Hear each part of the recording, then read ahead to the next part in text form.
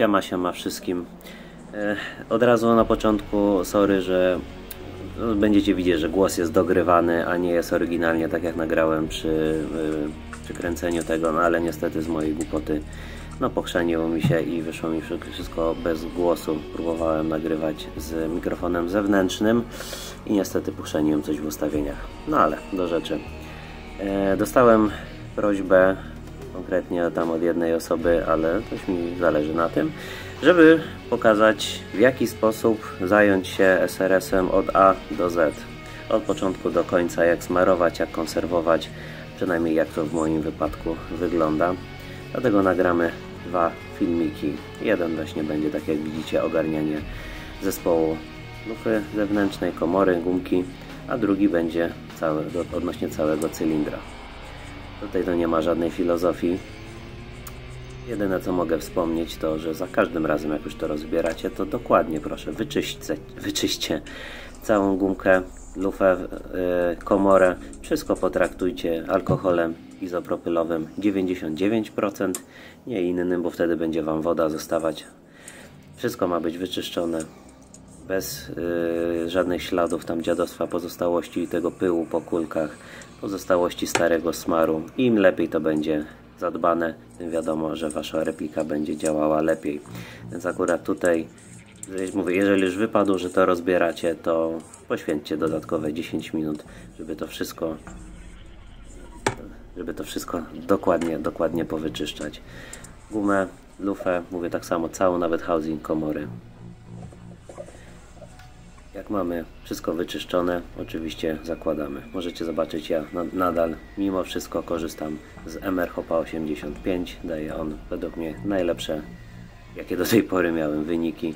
Dodatkowo jest zrobiony mod z o-ringów.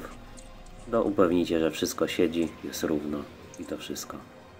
Łatka tego hop-upu musi być, wiadomo, e, musi być dobrze centrycznie ustawiona, ale akurat perfekcyjnie to siedzi na stalkerze Morfeuszu.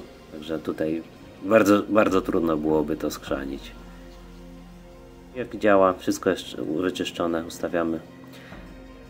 Zarzucamy housing, czyli ten front do komory. Tutaj też trzeba dodatkowo spędzić trochę czasu, żeby to było na pewno centrycznie ustawione. Tak samo później jak widzicie dociskamy resztę komory.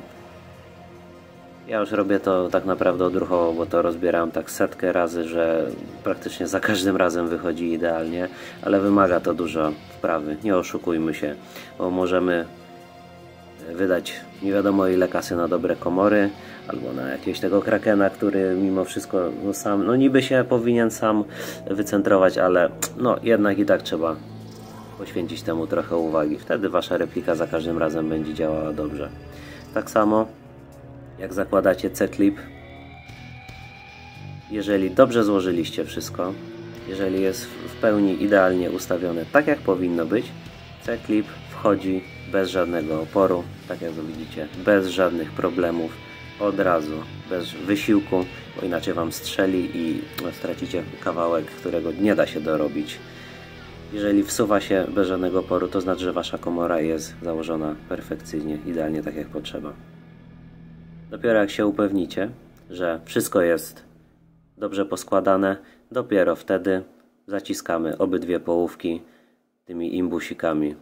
Wcześniej, przed ustawieniem, nie róbcie tego, bo nie będziecie w stanie poprawić ani doregulować osiowości, jeżeli coś tam po drodze było skrzanione.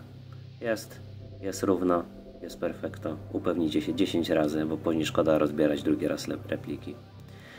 Jeżeli wszystko zrobiliście dobrze, to nie będzie problemu z wsadzeniem łapki do cisku hop-up.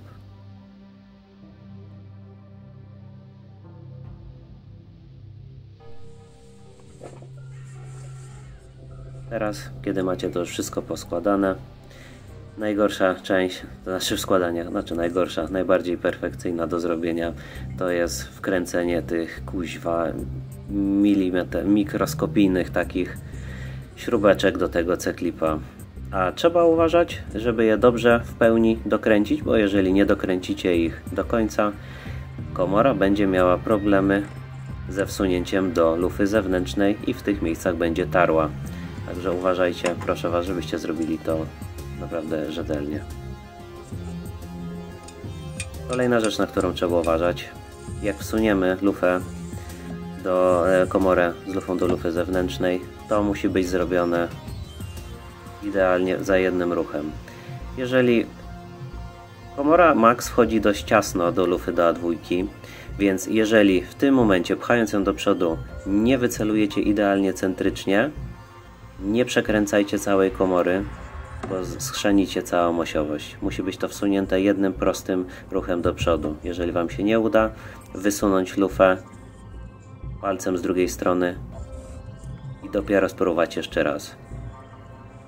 Zobaczycie po otworach komora Max jest tak y, zaprojektowana, że widać, że jest to osiowo czy nie. Widać gołym okiem od razu i tego nie da się tak naprawdę spartolić. Poza tym, że jeżeli nie robicie tego pierwszy raz, to na komorze będą y, już zrobione tak naprawdę dziury i rysowania. Od tego właśnie widzicie, że trzeba dokręcić dwie śrubki.